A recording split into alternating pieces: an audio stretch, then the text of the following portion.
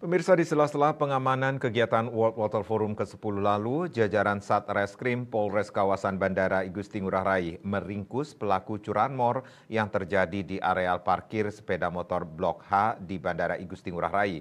Pelaku yang mencuri motor milik rekan kerjanya mengaku ingin memiliki motor tersebut. Pelaku dengan inisial ETHP alias Evan 23 tahun asal Jakarta diamankan oleh tim Opsnal Satreskrim dipimpin Kasat Ibtu Rionson Ritonga di tempat bekerja di Bandara Gusti Ngurah Rai. Sedangkan barang buktinya berupa sepeda motor diamankan di tempat tinggalnya di Jalan Pengracikan Kedonganan, Kuta Badung.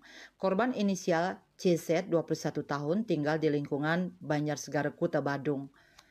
Kapolres kawasan Bandara Gusti Ngurah Rai AKBP Iketut Widiarto mengungkapkan berawal dari saat korban memarkir sepeda motornya di areal parkir Blok H Bandara Gusti Ngurah Rai.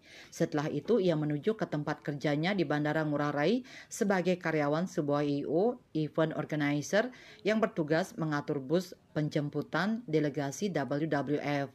Beberapa jam kemudian korban baru menyadari kalau kunci sepeda motornya telah hilang saat itu ia bergegas menuju ke tempat parkir untuk mengecek kunci sepeda motornya karena beranggapan kuncinya masih nyantol.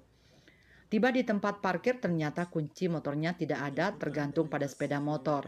Lantas korban sempat menanyakan kepada petugas parkir, namun kunci sepeda motor tak juga ditemukan.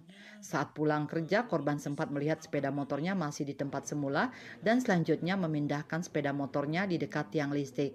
Namun keesokan harinya korban kembali lagi ke tempat parkir, ternyata sepeda motornya sudah hilang dan melaporkan ke polisi. Hasil penyelidikan tim Opsnal Garuda Buana Satreskrim termasuk Pengecekan CCTV terlihat motor korban dibawa kabur seorang laki-laki. Dari informasi yang didapatkan oleh tim Opsnal Garuda Buana bahwa pelaku diduga ke bandara menaiki ojek online. Tim Opsnal akhirnya mengamankan terduga pelaku Evan. Kemudian tim selanjutnya melakukan pengembangan penyelidikan terhadap eh, pelaku yang sudah mulai teridentifikasi pada waktu itu. Selanjutnya dari keterangan korban juga menyatakan bahwa ada rekan kerja yang bersama yang bernama atau berinisial E ini, yang pelaku ini yang sama-sama bekerja sebagai eh, karyawan IO yang mengatur bus penjemputan delegasi WWF ini berhasil mengamankan terduga pelaku E ini dengan berdasarkan keterangan bahwa ia telah mengakui mengambil satu unit sepeda motor sebagaimana barang bukti yang sudah dilakukan uh, penyitaan. Pelaku mengakui telah mengambil sepeda motor metik jenis Vespa warna merah marun milik korban dengan mudah karena menggunakan kunci asli yang sebelumnya ia temukan di rumput pinggir tempat parkir bus yang sebelumnya juga dibilang hilang oleh korban. Uniknya pelaku menemukan kunci motor korban namun masih melihat korban memindahkan motornya di sekitar parkiran dan sempat mengantarkan korban pulang ke kosnya. Saat menemukan kunci sepeda motor tersebut pelaku tidak menyampaikannya kepada korban.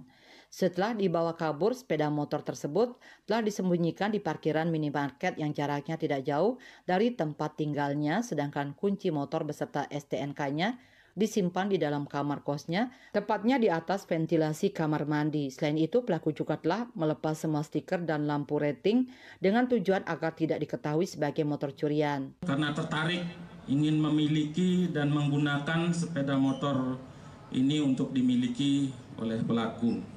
Saat ini pelaku sudah ditetapkan sebagai tersangka dan dijerat pasal 363 ayat 1 ke 3E KUHP dengan ancaman pidana penjara paling lama 7 tahun dan sudah dilakukan penahanan di rutan Polres kawasan Bandara Igusti Ngurah Rai.